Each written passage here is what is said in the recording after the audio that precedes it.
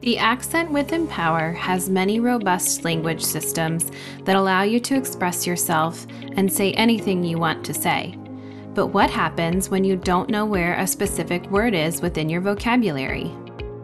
With Word Finder, you can search for any word and discover the pathway for how to get to that word within your vocabulary file.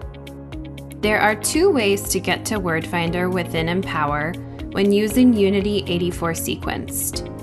One way is through the keyboard page.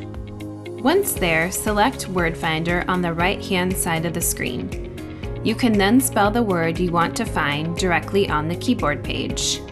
In this example, we will look for the word dog. Once you are done spelling your word, select Search under the display bar. This will pull up a window with possible icon sequence results. Depending on the word you are searching for, some words may have longer pathways than others.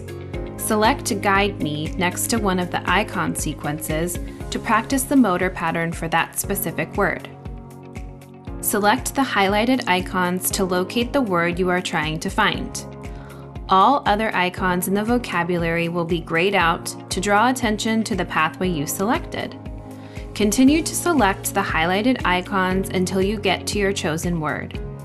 Once you have found and selected the word you are searching for, all icons in the vocabulary will be visible again.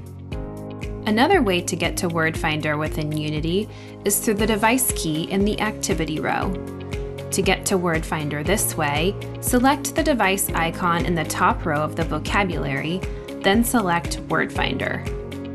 Let's find the word fast within our vocabulary. Follow the same steps as before by typing the word fast on the keyboard and select search. Once again, you can select an icon sequence to practice the pathway and find the word.